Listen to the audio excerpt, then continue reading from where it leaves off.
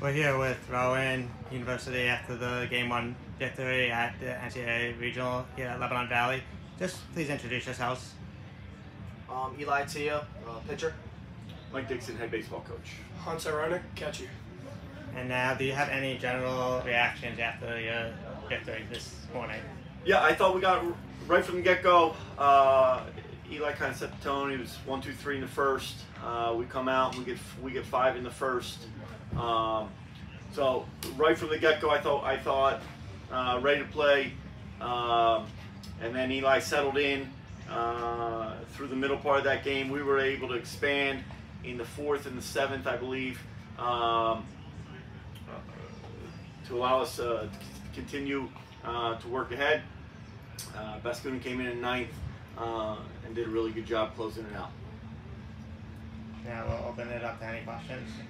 Coach, when you guys are able to build up a five-run lead in that first inning, how gratifying is that?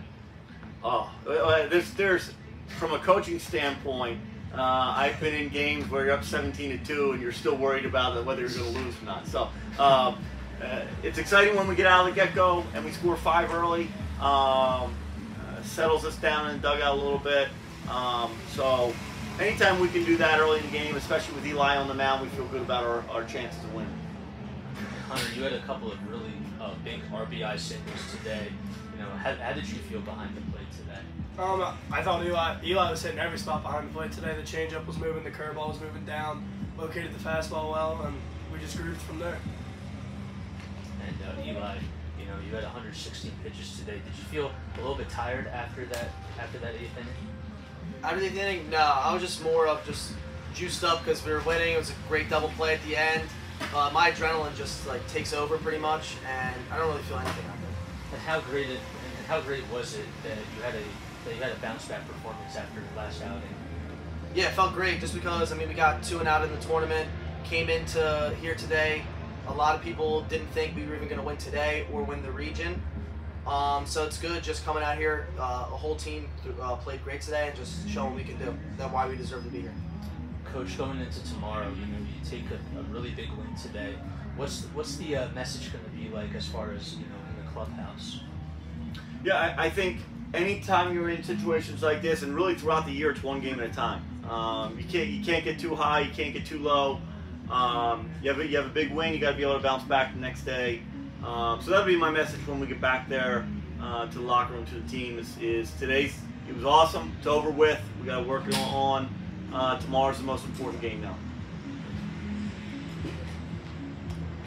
Do you have any other questions?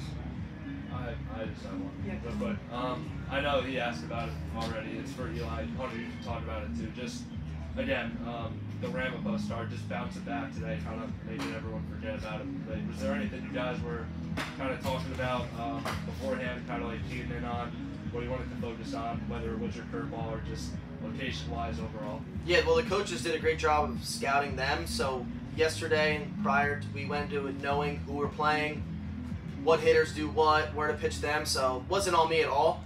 Um, they did a great job. Call, coaches did a great job calling pitches. And after Ramapo, I was told just forget it, forget it. Never happened, and no one cares about what happened in the past. All that matters is what happens here today.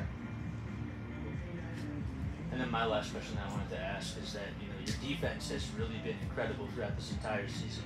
You had some great plays, especially by Tyler Cannon, even Ryan Murphy out there in left field.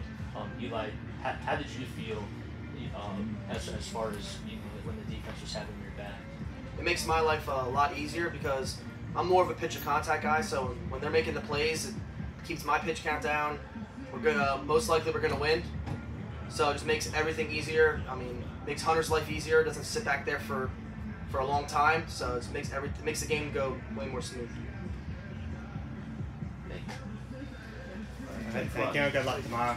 Thank you. Here you go. Here's your phone.